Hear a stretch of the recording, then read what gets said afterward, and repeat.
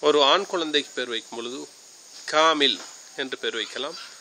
காமில் என்றால் பரிபூர்ணமானவன் என்பது பொருள். K double A M I L பெண் பிள்ளைக்கு பேர் வைக்கும் பொழுது காமிலா என்று பேர் வைக்கலாம். பூரணமானவள் என்பது பொருள்.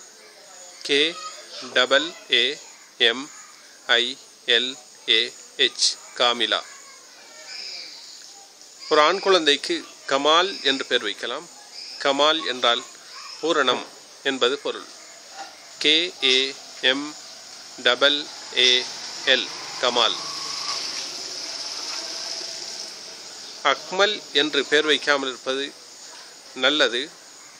அக்மல் என்றால் மிகவும் பரிபூர்ணமானவன். அந்த பெயரை வைப்பதை நீங்கள் தவிர்ந்து கொள்ளுங்கள். சில நேரம் அவ்வாறு பெயர் வைக்கப்பட்ட சிலருக்கு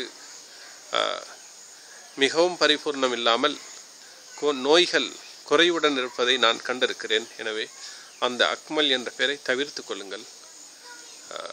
காமில் அல்லது காமிலா அல்லது கமால் என் போன்ற பெயர்கள் பெயர்களைத்தான் வைக்க முடியும்.